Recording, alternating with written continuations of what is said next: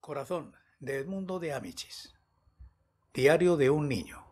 Trigésimo séptimo. Enero. Los libros de Stardi. Viernes 6.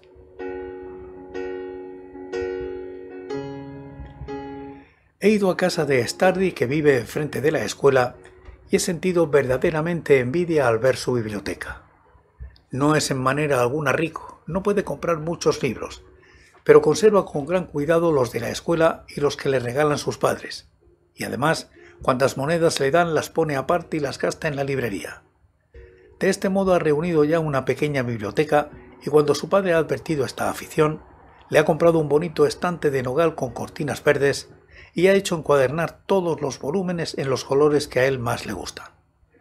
Así, ahora él tira de un cordoncito, la cortina verde se descorre y se ven tres filas de libros de todos los colores, muy bien adornados, limpios, con los títulos en letras doradas en el lomo, libros de cuentos, de viajes y de poesías, y algunos ilustrados con láminas.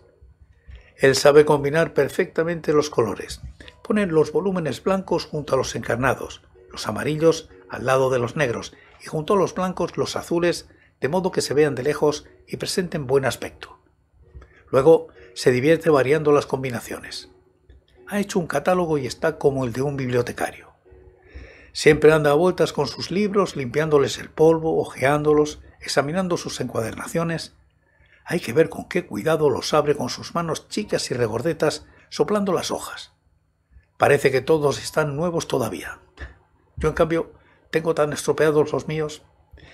Para él cada libro nuevo que compra es una delicia abrirlo ponerlo en su sitio y volver a tomarlo para mirarlo por todos lados y guardarlo después como un tesoro. No hemos visto otra cosa en una hora. Tiene los ojos malos de tanto leer. Estando yo allí, entró en el cuarto su padre, que es grueso y tosco como él, y tiene la cabeza como la suya. Le dio dos o tres palmadas en el cuello y me dijo con aquel bozarrón ¿Qué me dices de esta cabeza de hierro? Este estarudo. Llegará a ser algo, yo te lo aseguro Stardi entornaba los ojos al recibir aquellas rudas caricias, como un perro de caza. Yo no sé por qué, pero no me atrevo a bromear con él. No me parece cierto que tenga solamente un año más que yo, y cuando me dijo hasta la vista en la puerta, con aquella cara redonda, siempre bronceada, poco me faltó para responderle a su disposición. Se lo dije después a mi padre en casa. No lo comprendo. Stardi no tiene talento, carece de buenas maneras su figura es casi ridícula y sin embargo me infunde respeto.